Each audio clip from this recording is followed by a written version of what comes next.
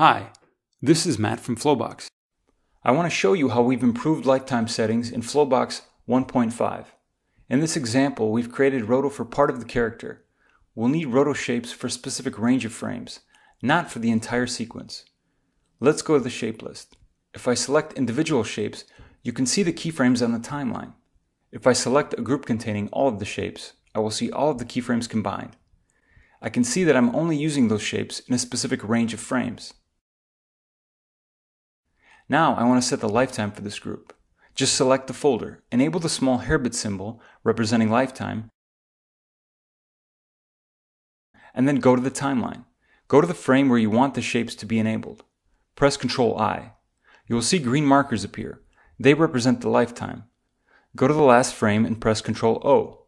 And that's it. The lifetime for this group is set. As you can see, from now on, shapes and entire folders of shapes are visible only inside the lifetime range. If you want to adjust the range, click and drag the green markers, just like that. This will help you to organize your roto work and help you to work in a clean way.